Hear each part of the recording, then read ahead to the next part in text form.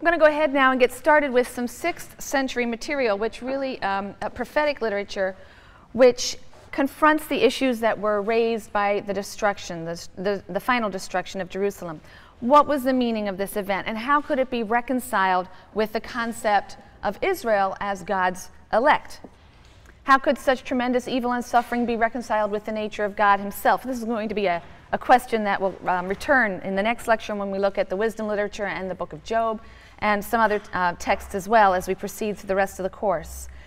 In classical terms, if God is God, then he's not good if all these terrible things happened.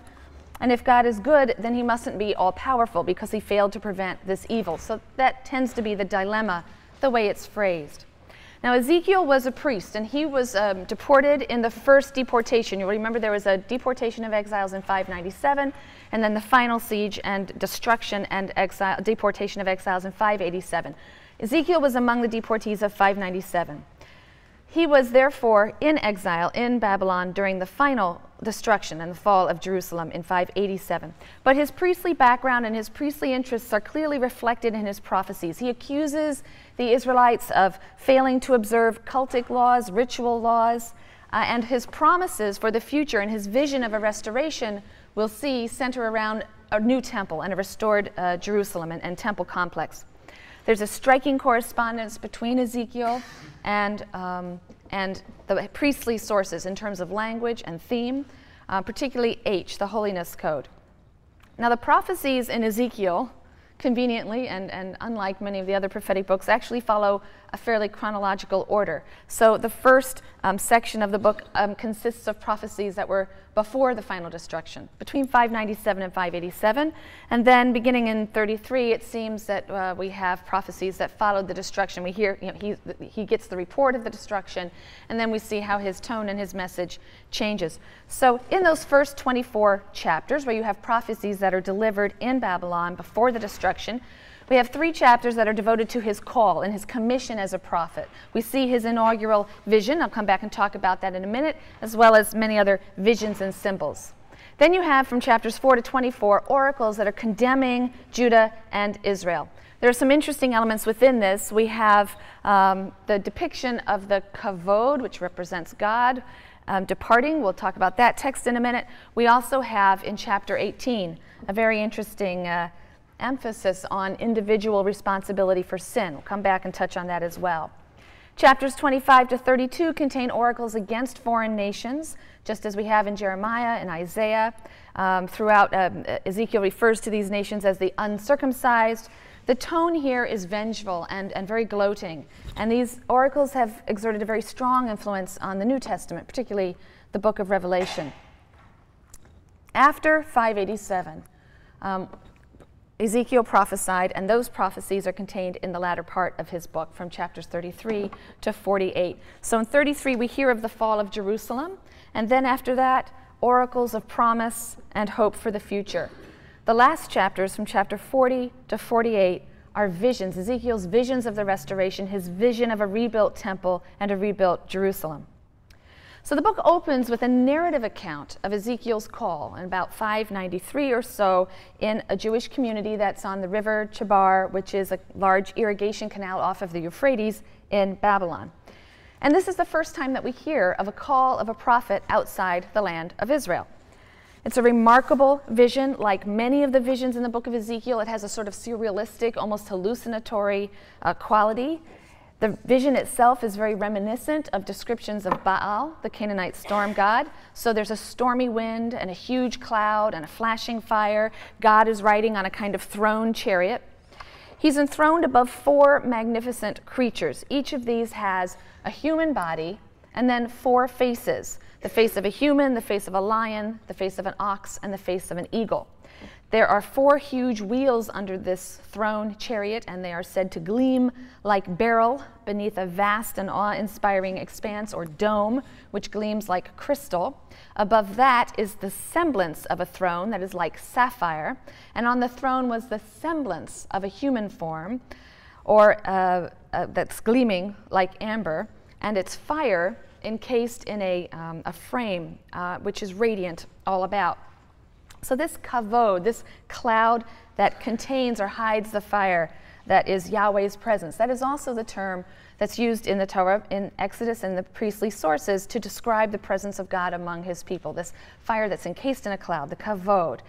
In Exodus 24, we read that this kavod had settled on Mount Sinai, representing God's presence. In Exodus 40, this cloud covers the tent of meeting, it fills the tabernacle. So when Ezekiel sees it now, he says that it was the appearance of the semblance of the presence of the Lord.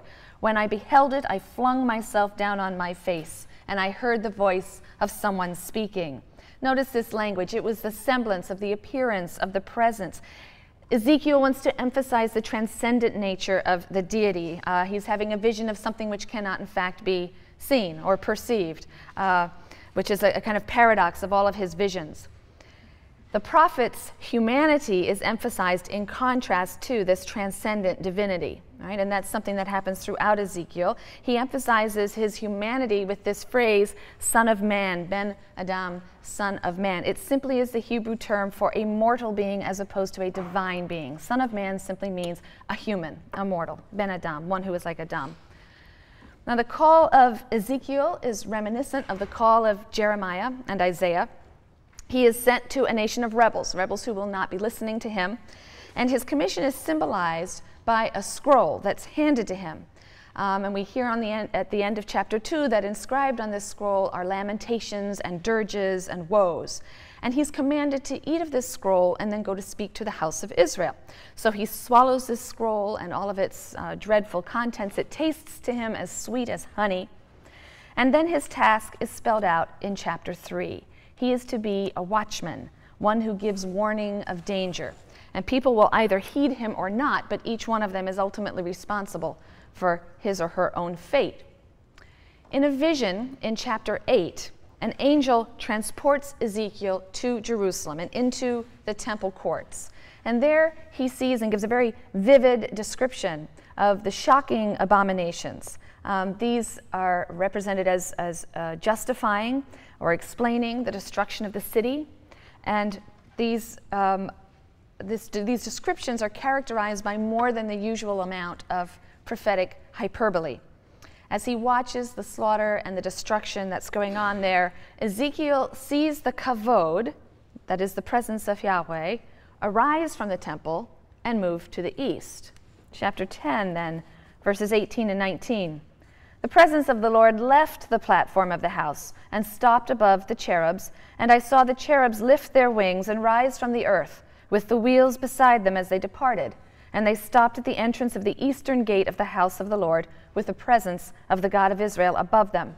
And in chapter 11, verses 23 to 25, then the presence of the Lord ascended from the midst of the city and stood on the hill east of the city. A spirit carried me away and brought me in a vision by the Spirit of God to the exile community in Chaldea. So now he's back to Babylon. And then the vision that I had seen left me, and I told the exiles all the things that the Lord had shown me. So, this image draws on ancient Near Eastern traditions of gods abandoning their, their cities in anger, leaving them to destruction by another god. The primary difference here is that God, um, rather than another God, is himself also bringing the destruction. Moreover, God doesn't retire to the heavens. He doesn't abandon his people. He doesn't remain behind with those left in Judah, but he moves into exile. In the book of Ezekiel, those left behind are guilty. God does not stay with them. God moves east with the righteous exiles. Then at the end of the book of Ezekiel, um, we're going to see a vision of a restored temple. This happens in Ezekiel 43. And here Ezekiel will see the kavod returning from the east and back to the temple. And there, coming from the east with a roar like the roar of mighty waters, was the presence of the God of Israel. And the earth was lit up by his presence. The presence of the Lord entered the temple by the gate that faced eastward. And lo, the presence of the Lord filled the temple. It was 43 verses 1 through 6. So just as the presence, the divine presence, went eastward with the exile, so the exiles, so it will return with the reestablishment of Israel in her home. What is significant here is the idea that God is not linked to a particular place, but to a particular people. And the implication then is that God is with his people, even when they are in exile. So Ezekiel preached a message of doom and judgment, like his prophetic predecessors and his contemporaries, but his condemnations tend to emphasize the people's idolatry and their moral impurity, and this, of course, makes sense of his priestly heritage. His denunciations of Jerusalem are among the most lurid and violent that you'll find in the Bible. Um, again, these prophecies were likely delivered between the two deportations, between 597 and then the final destruction and deportation in 587, 586. And Ezekiel warns that Jerusalem will fall, deservedly. He says that rebellion against Babylon would be treason against God. He employs all kinds of uh, very vivid metaphors uh, to describe Israel's situation. Jerusalem, he says, is Sodom's sister, except even more vile. Jerusalem is a vine, but a wild one, or a burned one. She produces nothing of use. Purity language uh, is employed metaphorically throughout Ezekiel. Jerusalem has been utterly defiled, and there are all sorts of images that inspire revulsion in these chapters. So, destruction is the only possible remedy. There are metaphors of sexual promiscuity throughout the book. God's destruction of Israel is figured as the abuse doled out by an insanely jealous husband who is uh, violent. And the images are, are disturbing, they're haunting, they're quite nightmarish. Ezekiel also engages in various um, dramatic um, signs, prophetic signs or actions to convey his message. It's something that we've seen in some of the other prophets. But his are so bizarre and so extreme sometimes uh, that he was ac- accused of insanity. He cooks his food over a fire of human excrement as a symbol uh, of the fact that those besieged by Nebuchadnezzar will be forced to eat unclean food. He doesn't mourn when his wife dies, in order to illustrate the fact that Yahweh will not mourn the loss of his temple. He binds himself in ropes. He lies on his left side 390 days to symbolize the 390 years of exile of Israel.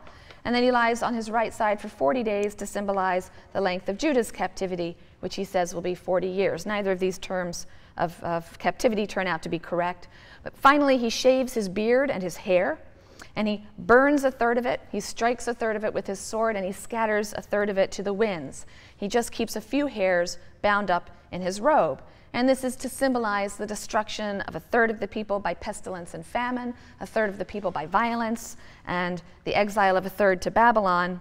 Uh, only a few will God allow to escape. Ezekiel makes it clear that those who ignore the warnings are doomed. Those who heed will be spared. And in this, he sounds the theme of individual responsibility that is so characteristic of Ezekiel. I want you to listen to the following passage and compare it to or think about other verses or terms in the Torah that you've studied that may uh, relate to the same topic. How is he uh, modifying those earlier ideas? This is all from chapter 18, various verses throughout. The word of the Lord came to me. What do you mean by quoting this proverb upon the soil of Israel? The parents eat sour grapes, and their children's teeth are blunted. As I live, declares the Lord God, this proverb shall no longer be current among you in Israel. Consider, all lives are mine. The life of the parent and the life of the child are both mine. The person who sins, only he shall die. A child shall not share the burden of a parent's guilt, nor shall a parent share the burden of a child's guilt. The righteousness of the righteous shall be accounted to him alone, and the wickedness of the wicked shall be accounted to him alone. Moreover, if the wicked one repents of all the sins that he committed, and keeps all my laws, and does what is just and right, he shall live, he shall not die. Is it my desire that a wicked person shall die, says the Lord God? It is rather that he shall turn back from his ways and live. So, too, if a righteous person turns away from his righteousness and does wrong, practicing the very abominations that the wicked person practiced, shall he live? None of the righteous deeds that he did shall be remembered. Because of his treachery he has practiced, and the sins he has committed, because of these he shall die. Be assured, O house of Israel, I will judge each one of you according to his ways, declares the Lord God. Repent and turn back from all your transgressions. Let them not be a stumbling block of guilt for you. Cast away all the transgressions by which you have offended, and get yourselves a new heart and a new spirit, that you may not die, O house of Israel. For it is not my desire that anyone shall die, declares the Lord God. Repent, therefore, and live. It's an important Torah idea that Ezekiel is rejecting or contradicting here. And that's the Torah principle of collective or even intergenerational punishment. It's found most famously in the second commandment the declaration that God punishes children for the sins of their fathers under the fourth generation. Now, we need to note that we're talking about divine justice here and not human justice. As we saw in our study of biblical law in the sphere of human justice, uh, only the guilty are punished in Israelite law. Um, you don't have um, uh, you know, literal punishment. Someone kills someone's son, then their son is put to death. That idea is rejected in biblical law. But God operates according to a different principle, a principle of collective responsibility. And that principle is understood in the early sources quite positively. That the sins of the fathers are visited, visited upon the children is an expression of God's mercy.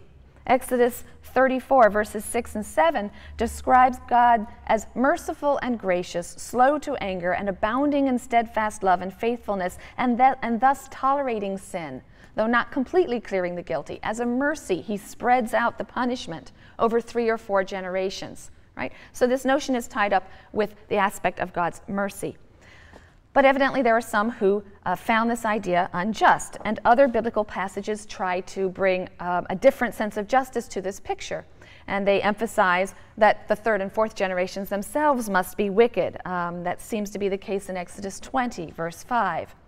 The book of Chronicles, which is a rewrite of the historical material, the historical narrative in the book of Kings, rewrites that material in a manner that never explains a catastrophe on the basis of guilt incurred by someone other than the one experiencing the catastrophe. In other words, it rejects the Deuteronomistic historian's device of delayed punishment, which you'll remember we discussed. It changes the narrative account so that no one suffers for a crime committed by someone else. It isn't the sin of an earlier generation that's finally uh, visited upon, you know, a grandson or a king of a later generation. So it seems that after 586, or certainly in Ezekiel's case, uh, some accepted the idea that the nation was suffering because of the accumulated guilt of previous generations, notably the Deuteronomist, but for others, like Ezekiel, the idea of accumulated guilt and intergenerational punishment seemed to lose some of its explanatory power, perhaps because the, the destruction and the exile seemed devastatingly severe punishments that didn't fit the individual crimes. So Ezekiel is one who rejects the doctrine of collective responsibility in the operation of divine justice. In chapter 18, he responds to the idea of suffering for the sins of one's ancestors by declaring that God isn't going to work that way anymore. God will no longer punish people collectively. Each one will be judged individually. Only the sinner will be punished. And that's a major departure from Exodus 34 and even from the contemporaneous Deuteronomistic view. And at this point, I think we would do well to remind ourselves of the nature of the biblical text. In the, in the opening lecture, I asked you to set aside certain presuppositions about the biblical text. One of them is that it is a uniform or unified text with a single doctrine or theology. I asked you to remember that the Bible isn't a book, it's a library. It's a library of works that originate in vastly different historical periods, vastly different historical situations. It responds to a variety of shifting needs and events and reflects a range of perceptions about God and his relation to creation and to Israel. It isn't a book of theology, that is to say, rational argumentation in support of certain doctrines about God and it most certainly doesn't speak with a single voice on points of theology or matters that are of traditional concern to the discipline of theology. Doctrine isn't its concern. Understanding and making sense of the historical odyssey of the nation of Israel in covenant with God, that is its concern. And so we're going to find many different interpretations of the meaning of that history and the nature of that God and the meaning of that covenant. And certainly there are some basic points of agreement, but even some of the most basic points of agreement do not pass without some contestation. So, for example, the basic point that humans are free moral agents. This seems to be clearly assumed throughout most of the books of this little library. But there are some isolated episodes that would appear to contradict even that most basic assumption. God hardens Pharaoh's heart. God seals the people's ears sometimes so that they will not hear the message of the prophets or will not understand them until a later day. To be sure, there are only a few of these contradictory passages, but they do exist. And so here we find also a major shift in the exilic period, away from the tendency to see divine justice working through collective or intergenerational punishment to the idea of the individual the individual's culpability before God. I shouldn't say a shift away. We see arising a dialectic, right? This isn't a linear progression. These are different ideas coming out at different times and receiving emphasis at different times. But this kind of um, polyphony then didn't impinge upon the authority of the Hebrew Bible for the nation of Israel. Because the Bible's authority doesn't derive from some supposed consistency or univocality. That's a modern notion, and it's based on Hellenistic ideals of truth as singular. Western culture, influenced by Greek philosophical traditions, defines truth, truth in monistic terms. Only that which contains no contradiction is true, and only that which is true is authoritative. Those notions are somewhat alien to the ancient non Hellenized world. The Bible doesn't strive to present philosophical truth, it presents the best efforts of sages and prophets and scribes and visionaries to respond to and to explain the crises of the nation over a period of centuries. And its authority derives from the explanatory power of its insights into and understanding of God's governance of the world and his plans for Israel.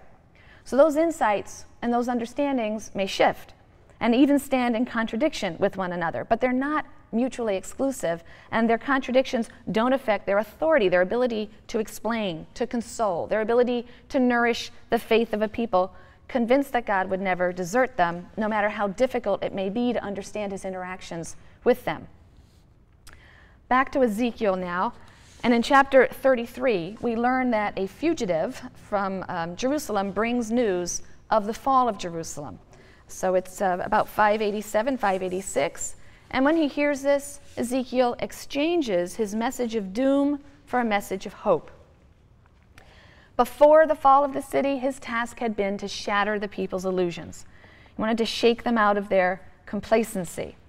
But now, reduced to despair um, and remorse, the people are reduced to despair and remorse, and his task is to offer reassurance and hope. God is going to initiate a new beginning.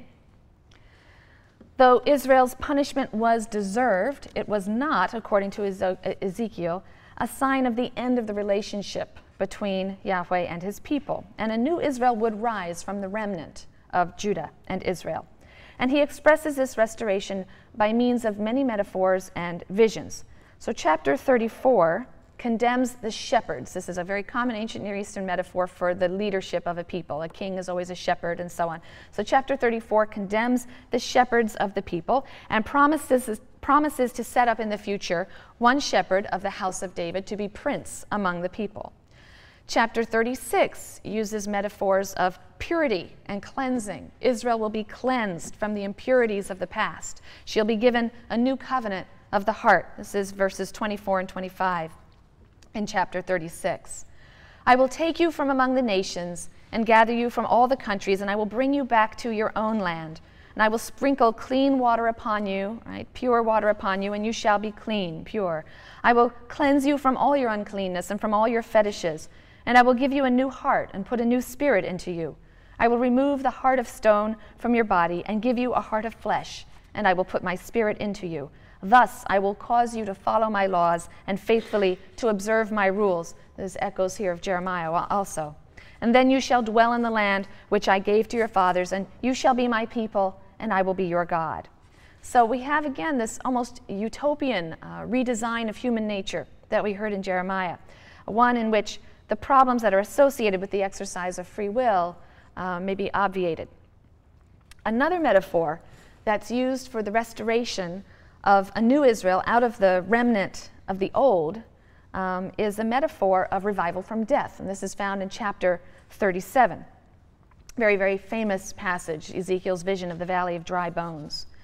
The hand of the Lord came upon me. He took me out by the Spirit of the Lord and set me down in the valley, and it was full of bones. He led me all around them. There were very many of them spread over the valley, and they were very dry. And he said to me, O mortal, can these bones live again? I replied, O Lord God, only you know. Very diplomatic answer. And he said to me, Prophesy over these bones and say to them, O dry bones, hear the word of the Lord. And thus said the Lord God to these bones I will cause breath to enter you, and you shall live again. I will lay sinews upon you, and cover you with flesh, and form skin over you. And I will put breath into you, and you shall live again. And you shall know that I am the Lord. I prophesied as I had been commanded. And while I was prophesying, suddenly there was a sound of rattling, and the bones came together, bone to matching bone. I looked, and there were sinews on them, and flesh had grown, and skin had formed over them. The breath entered them, and they came to life, and stood up on their feet, a vast multitude. And he said to me, O mortal, these bones are the whole house of Israel. They say, Our bones are dried up, our house is gone, we are doomed. Prophesy therefore, and say to them, Thus said the Lord God I am going to open your graves and lift you out of the graves of my people and bring you to the land of Israel. You shall know, O my people, that I am the Lord when I have opened your graves and lifted you out of your graves. I will put my breath into you, and you shall live again, and I will set you upon your own soil. Then you shall know that I, the Lord, have spoken and have acted, declares the Lord. So, in the interpretation that follows the vision, we're told that the bones symbolize Israel now in this state, in exile. In their despair, they're crying, Our bones are dried up, we're dead, our hope is lost. And God promises to raise Israel from the grave, which is the metaphor for exile, and restore her to her own land as one people, north and south, with one prince to rule over her.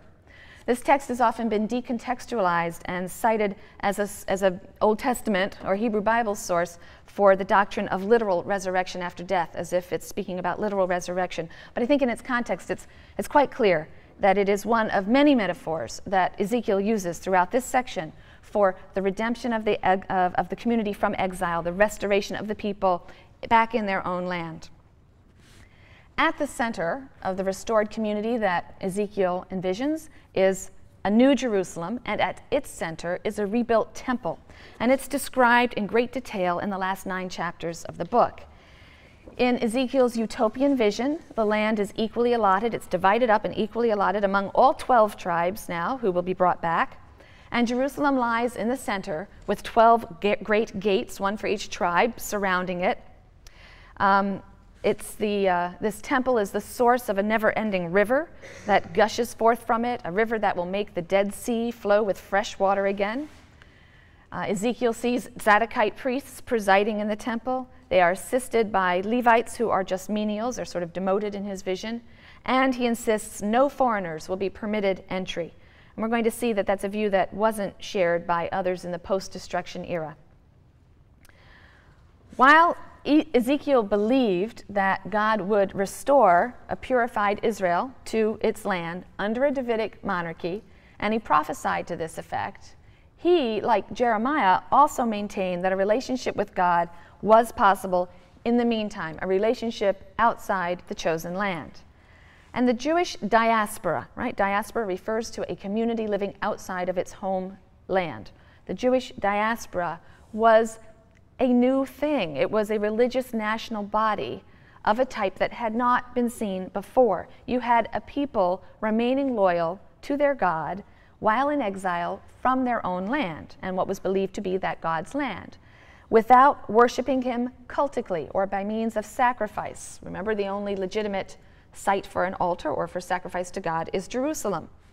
And in time, slowly, a new worship will be fashioned, one without sacrifice, one that consists of prayer and confession and fasts and other kinds of ritual observances. Three times a day, Jews will pray, and they'll pray in the direction of Jerusalem. Worship in synagogues eventually will come into being.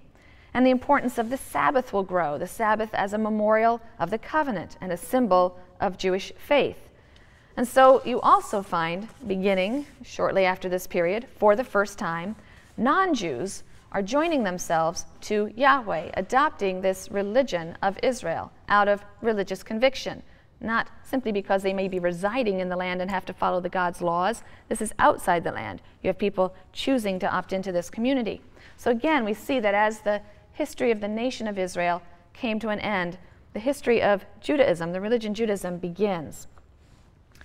So in Ezekiel, we've seen um, one response to the national disaster and the exile the idea that while suffering and punishment are fully deserved, a relationship with God remains possible. God is with his people even in exile.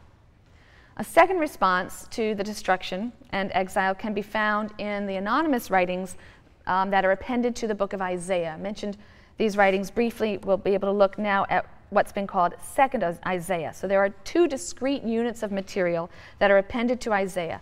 Chapters 40 to 55 are referred to as Second Isaiah, and uh, chapters 56 to 66 are referred to as Third Isaiah. And these chapters differ from Isaiah proper, the 8th century prophet, uh, in several ways.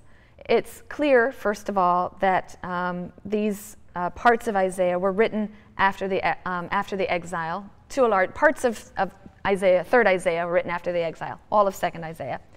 Um, and Isaiah proper was clearly written in uh, the uh, 8th century on into the early 7th century. Um, Jerusalem is referred to as destroyed.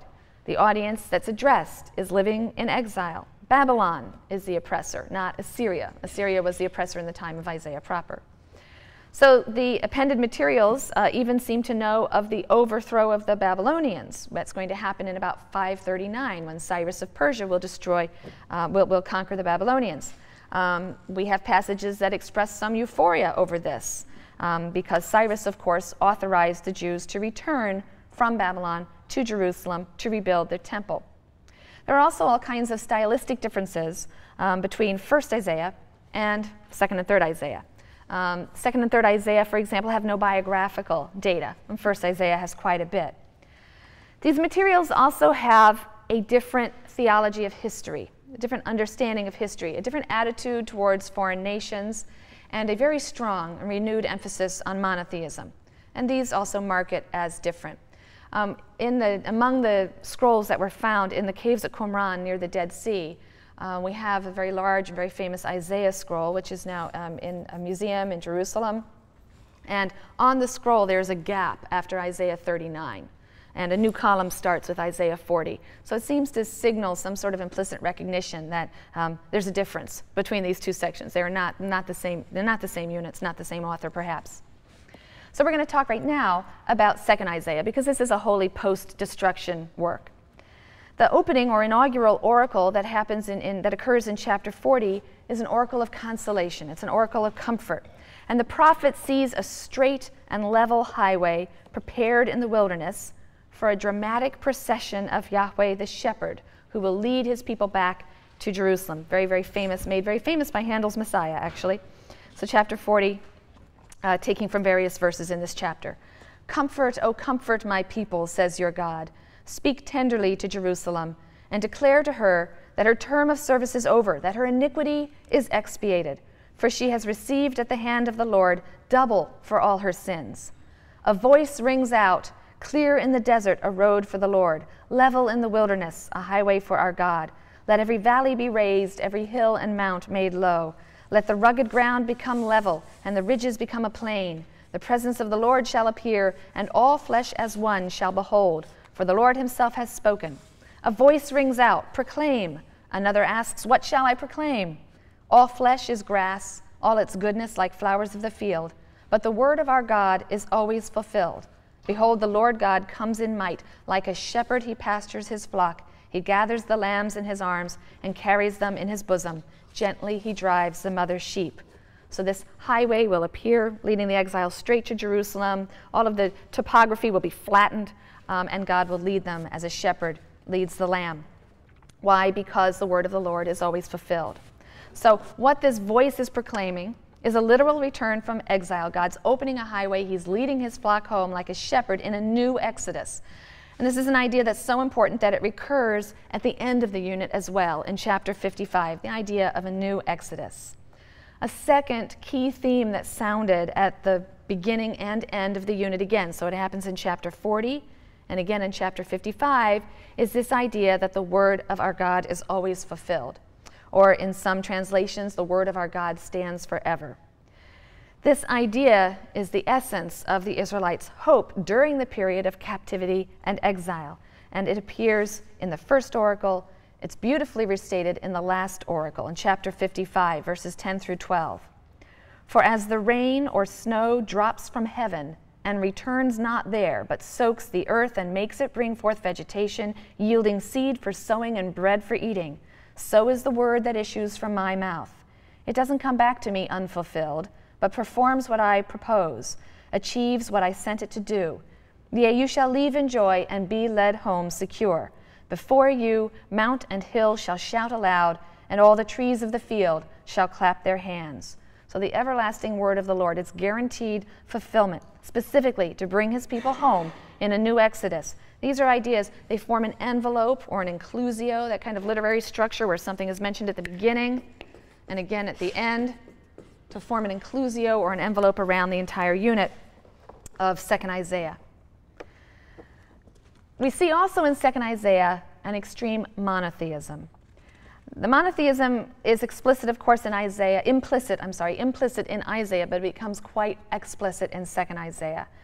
Um, as we've seen, uh, to come to terms with the destruction of 587 entails the acceptance of the idea that Israel's punishment was deserved and that Yahweh controls, um, and Yahweh's control of history means he controls not only Israel but all other nations as well and can use them for his purpose, including punishing Israel. There's no power other than Yahweh.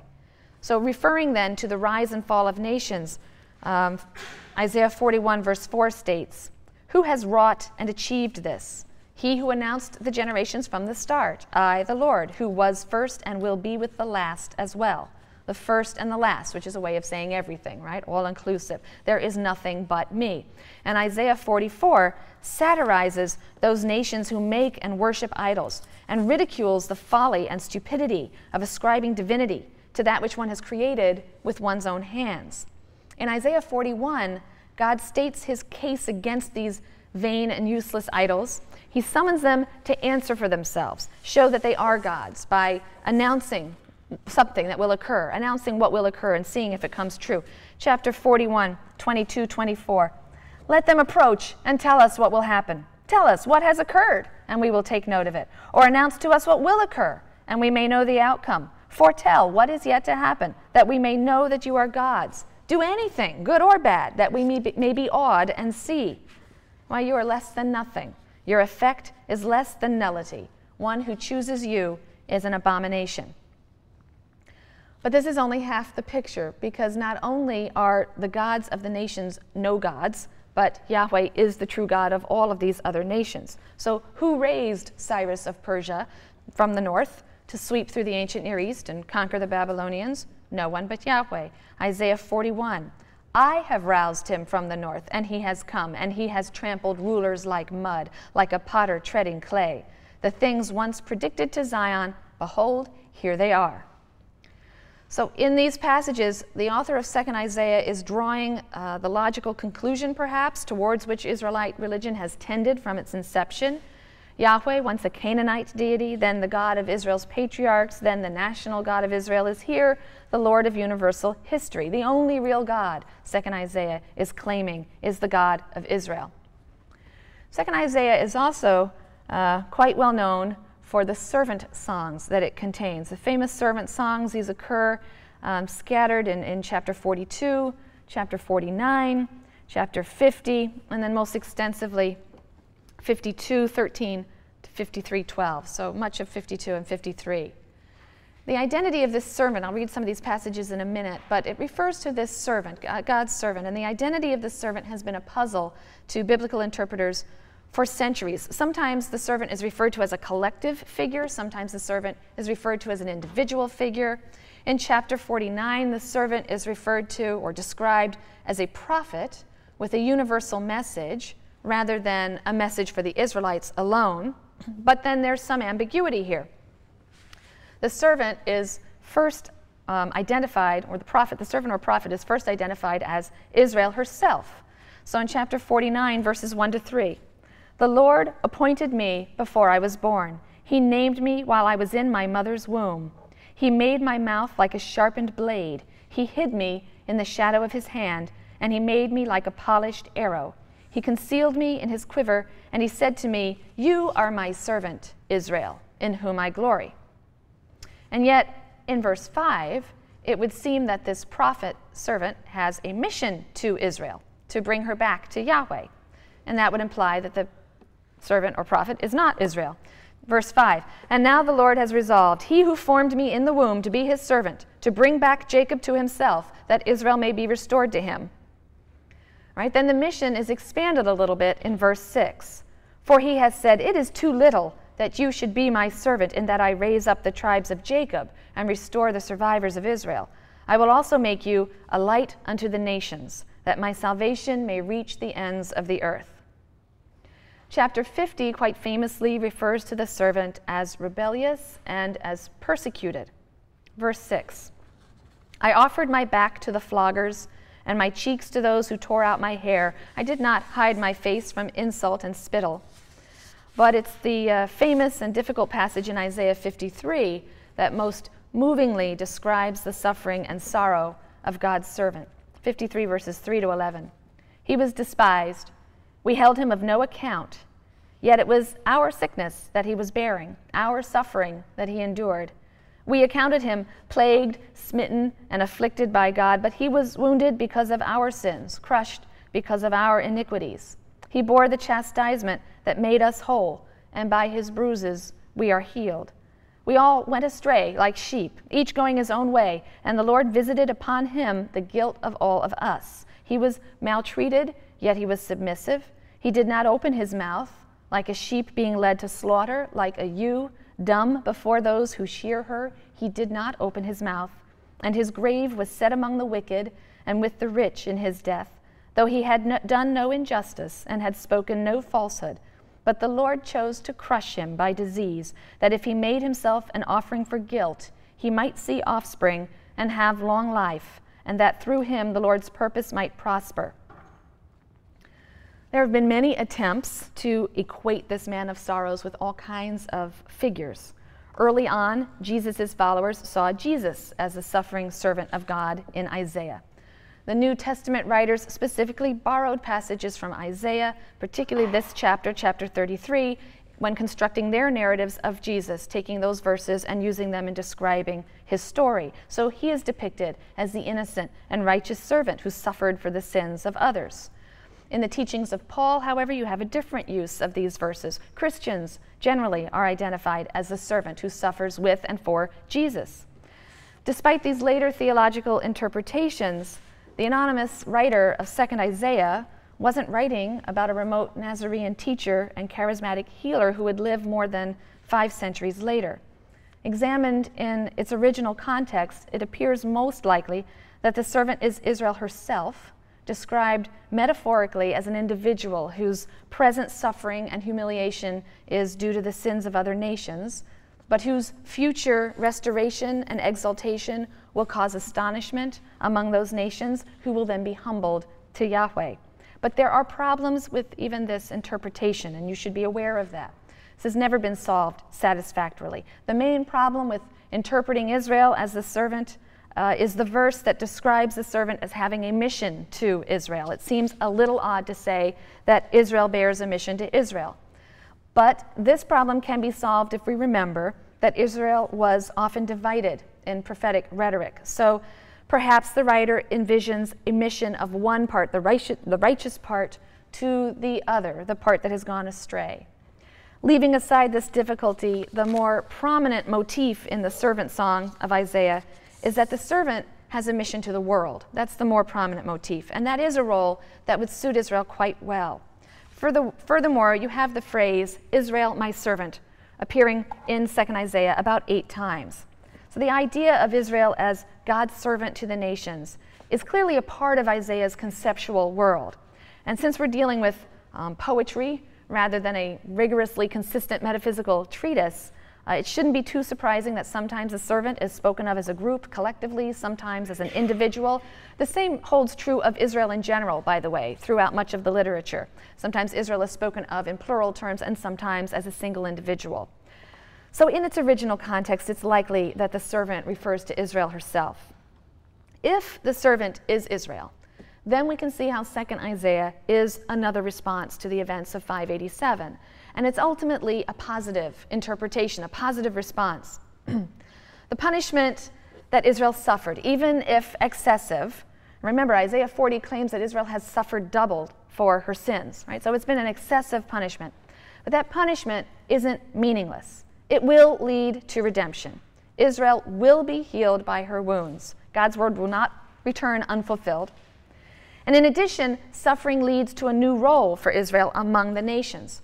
Second Isaiah expresses a new self awareness that is taking hold in the exile. Israel saw itself as the faithful servant of Yahweh, a servant whose loyalty to God in this dark time would serve to broadcast the knowledge of God throughout the nations.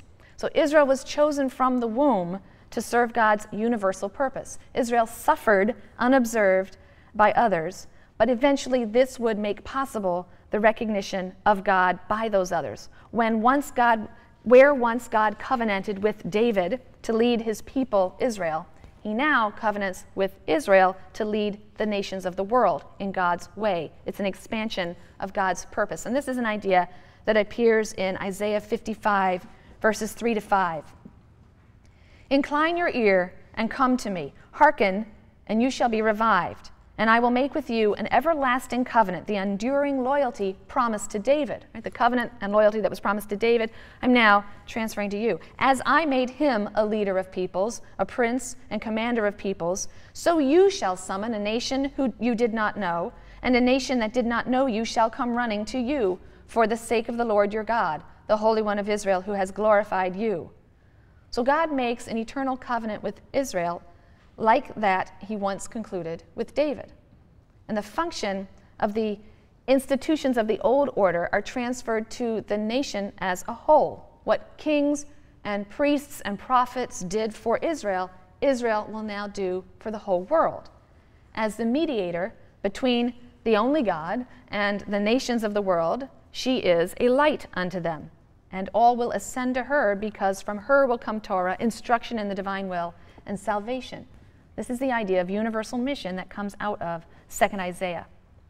When we come back on Wednesday, we're going to take a look at what I think is probably the single most profound book in the Hebrew Bible, the book of Job. Uh, and again, I'll remind you that final paper information will be available on the classes server tonight. I want you to have it in time to be able to ask questions of your TF or myself about the assignment. It's pretty detailed, so sit and read through it carefully. Be there later tonight.